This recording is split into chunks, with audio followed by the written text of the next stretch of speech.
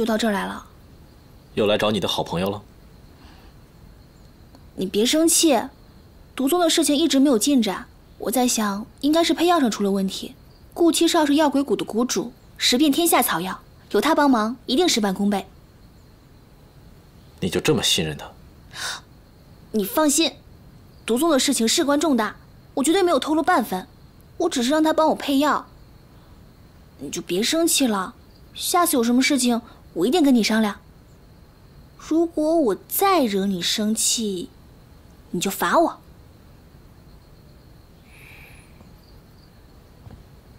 如何罚？你是秦王，想怎么罚都行。那如果我不是秦王呢？那你也是我夫君啊。当初的事情是我害你差点暴露了身份，你跟母妃怪我，我丝毫无怨。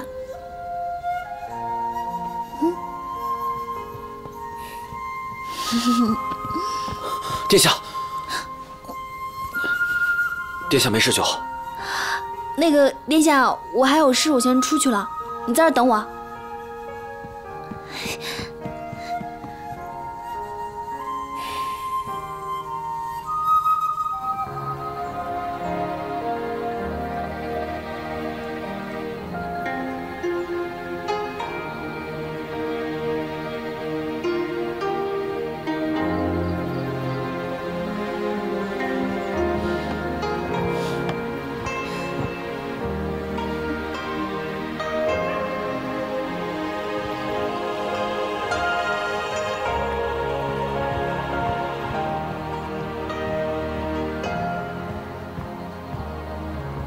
不是让殿下在房间等我吗？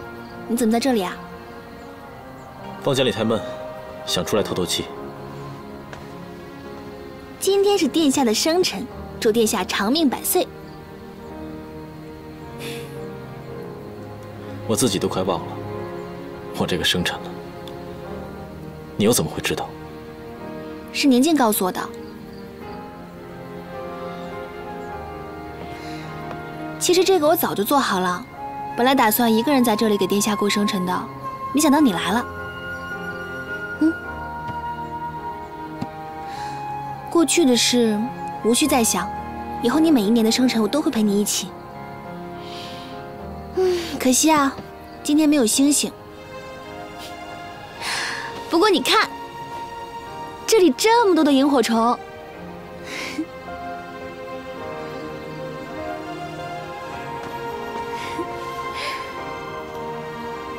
上次谁说过，惹我不高兴生气，就让我罚他的？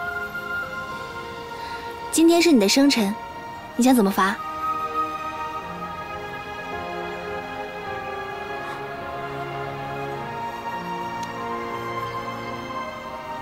把眼睛闭上。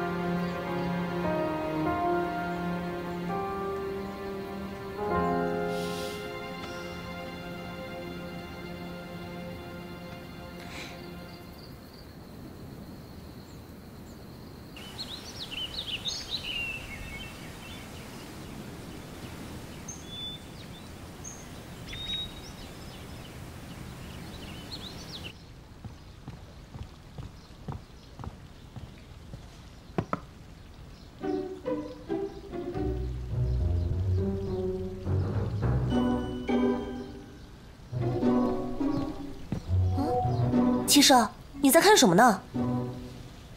嗯，哎，龙飞也走了吗？他和韩云溪已经回房间休息了。嗯，早餐我给你准备好了。好，知道了。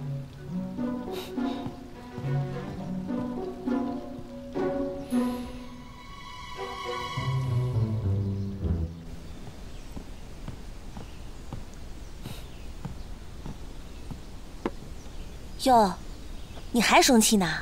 你拿我家殿下性命开玩笑，我能不着急吗？那是你笨，这话都信。你。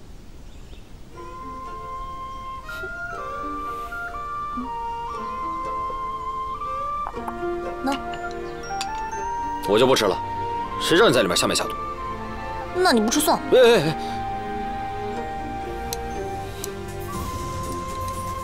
你坐着，那当然。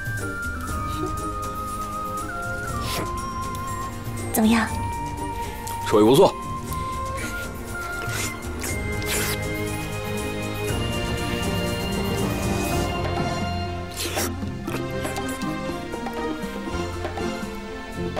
喏，尝尝我新酿的酒，味道如何？还会酿酒呢？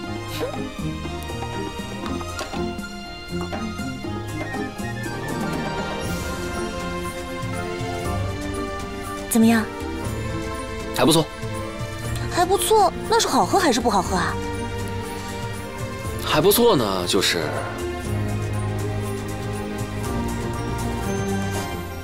再来一碗。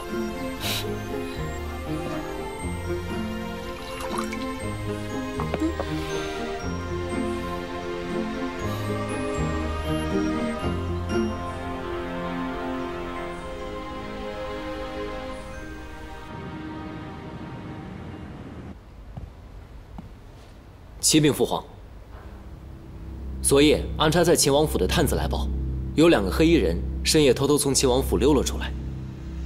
然而可惜我们的人在药鬼谷附近跟丢了，这两个人极有可能进了药鬼谷。这药鬼谷毒气弥漫，贸然进去恐怕九死一生。所以儿臣已经派人在药鬼谷附近严密监视一切进出的人员。知道了，有事及时通报。遵命。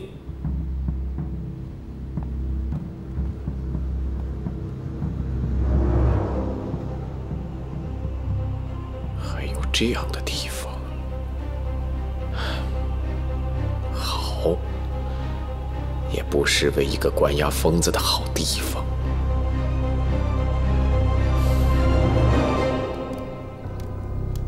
治疗癫狂癔症的药丸治好之后，由于药草之间的作用，按理说应该是灰褐色。虽然我做的颜色差不多，可是药效却完全没有。这个呢是需要一段时间，我要好好的研究研究。要多久？你这么着急啊？治病救人的药当然着急了，再说也不好耽误你啊。